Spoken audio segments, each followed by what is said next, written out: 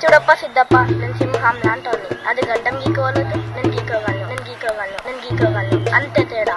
రాయ్ నాకు కొంచెం పిచ్చింది దాని కొంచెం పిక్కుంది నా పిచ్చి చూపిస్తా మీ అందరి కిక్ తెప్పిస్తా.